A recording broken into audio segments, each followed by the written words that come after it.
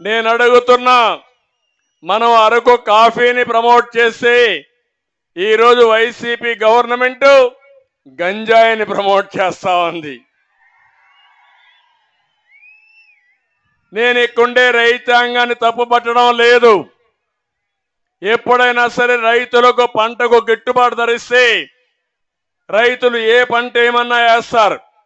కానీ గిట్టుబాటు ధర లేకుండా ఇబ్బందులు ఎక్కువ వచ్చి గిరిజనులు కొంతమంది పెడదారి పట్టే పరిస్థితి వచ్చింది. దీనివల్ల కూడా మీరు చూస్తే ఇక్కడుండే యువత నిర్వీర్యం అయిపోతారు నేను చూసినప్పుడు ఎక్కడ చూసినా యువతే కనపడ్డారు నాకు. వీళ్ళు కానీ ప్రోత్సహిస్తే ప్రపంచాన్ని జయించే శక్తి మన తెలుగు వారికి సొంతం అందులో మన యువతకే సొంతం. అది నా ఆలోచన.